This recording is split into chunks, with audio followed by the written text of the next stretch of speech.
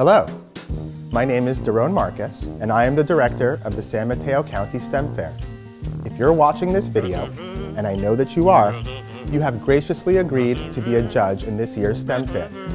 On behalf of the San Mateo County Office of Education, the STEM Center team, and all of us on the STEM Fair Committee, I would like to thank you for dedicating your valuable time and expertise during this important event. This year, over 400 students from around the county will be entering a project in the STEM Fair. It's our biggest fair yet. These students have worked hard on their projects for most of the school year in preparation for this event.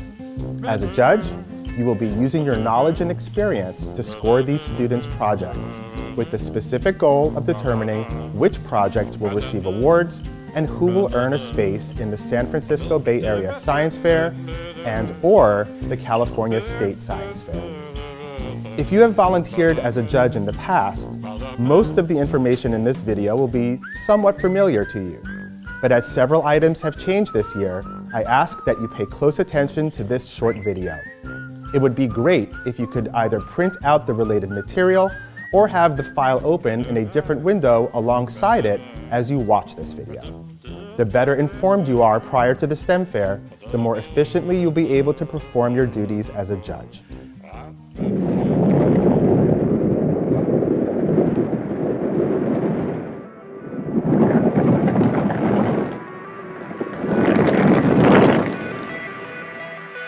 You will be playing a crucial role in the success of our STEM fair and in the future of our students who are interested in science, engineering, mathematics, and computer science.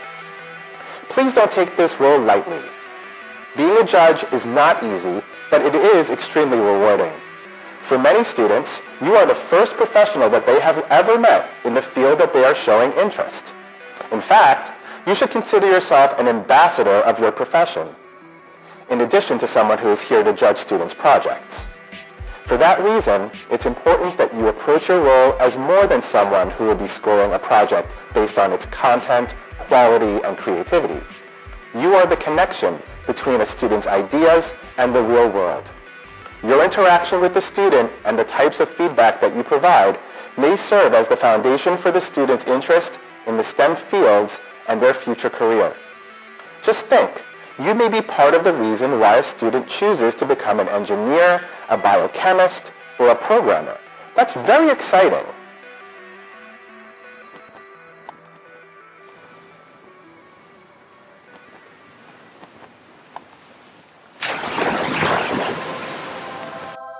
There are certain characteristics that a STEM fair judge must possess in order to be a great STEM fair judge. First and foremost, you must be fair. You should do your best to approach and treat every student participant in the very same way. For example, you should spend roughly the same amount of time at each project board and with each student during the interview stage. You should listen to each student's explanation of the project, even if the work is obvious to you. Remember, the types of questions that you ask should be with the intention of finding out more about how the project was done. Second, you should be as objective as possible. Base your score on the quality of work, not according to a proverbial high bar that you may have inadvertently set.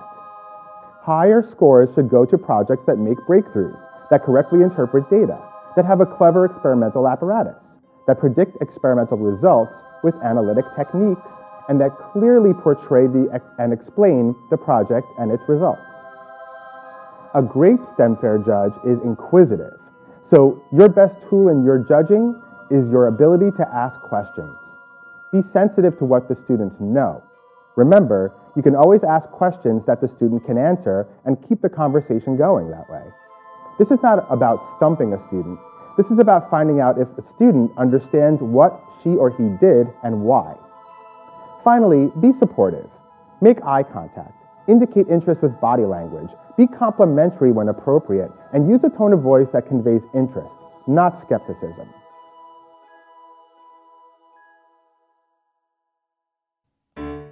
This year, you will be using two forms to judge students' projects.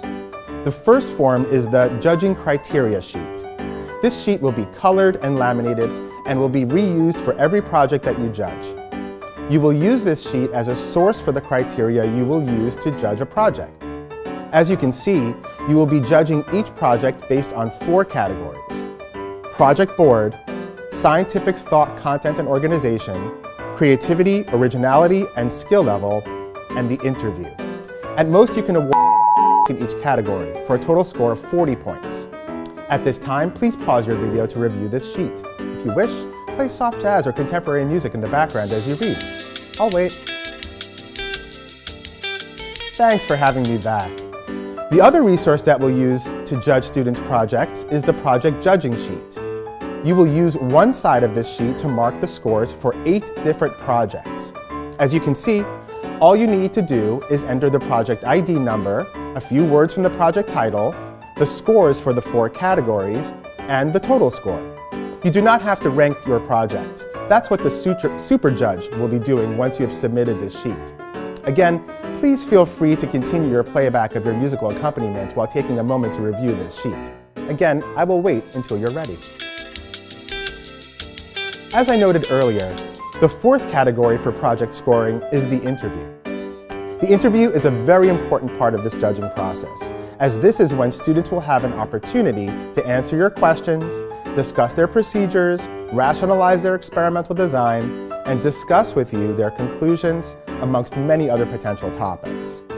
This is not a time for you to demonstrate your knowledge and what you would have done if you were in their position, this is a time for you to listen and learn more about the project that you are judging. The types of questions that you ask are crucial. Here's a list of questions that you can ask that will help facilitate a discussion between you and the student participant. Where did you get this idea? What was the hardest part? What would you do next? What were your dependent and independent variables in your control? What would you do differently next time? What research did you do? Why are your findings important? Why did you do the experiment more than once? What did you base your conclusions on? And who helped you?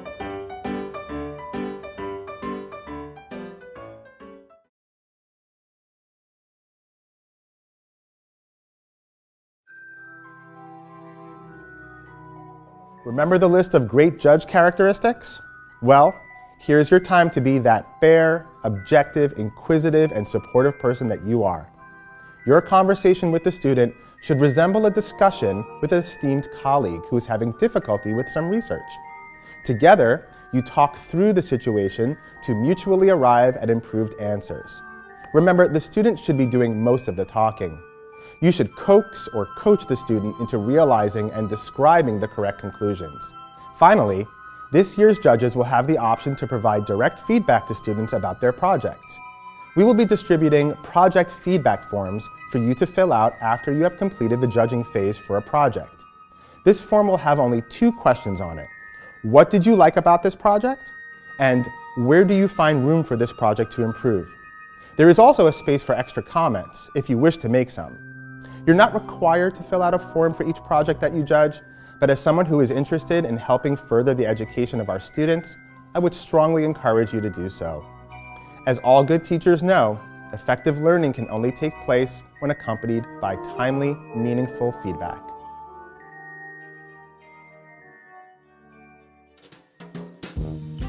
Please visit our beautiful website, www.stemfair.net, for details related to dates and times for this year's STEM Fair. As parking is limited, I strongly encourage you to carpool or use public transportation. That said, we will do everything in our power to make the parking experience as painless as possible. That said, the earlier you get to the venue, the easier it will be for you to find a parking spot. So you may want to consider coming for the pre-judging period. That time is set aside for you to visit the projects that you will be judging, looking at them carefully, and doing as much scoring as you can before the students arrive for the official judging period. Dinner will be served, of course. Although the most obvious reason for volunteering to be a judge at the STEM Fair is to assist in the selection of the projects that get prizes, a great judge knows that you are here to ensure that the STEM Fair is a special experience in the life of every participant. Please do your best to make sure that all of the participants remember the STEM Fair as a positive experience in their lives. Again, thank you for volunteering your time to judge our students' projects. I look forward to meeting you at the STEM Fair. You may now play your music again. Please fade the music out as I end this presentation. Goodbye.